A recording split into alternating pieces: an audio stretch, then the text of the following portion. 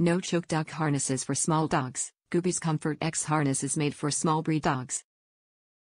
This means that our largest size will fit a dog up to 30 pounds.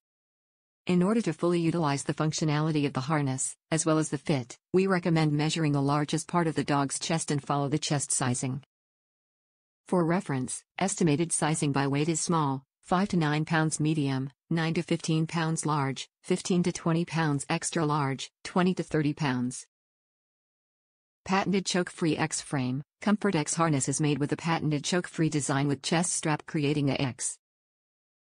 Our no-choke dog harness sits below the usual neck area, reducing the stress pressed on the neck.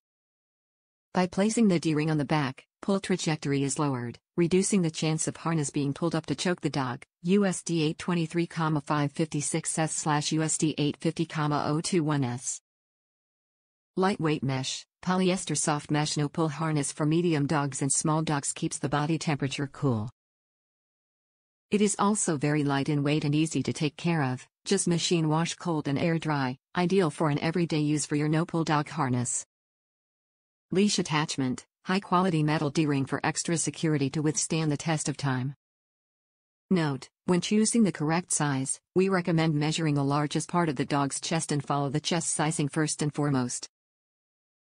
If between sizes, please size up.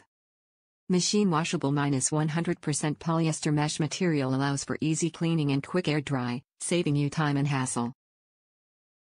Top reviews from the United States. Super lightweight and comfortable. This harness is really nice and small. Not bulky like most of them. The C-neck style fits really nice. I ordered a large and I have a 19 pound Shih Tzu. I have it tightened about halfway so plenty of room if I ever need it. Not sure if a medium would have fit. The large is perfect. Only change that would make it better would be a different positioning of the clasp. It's down at the harness and sits behind and a little under the armpit of the front leg and rubs when he sits down,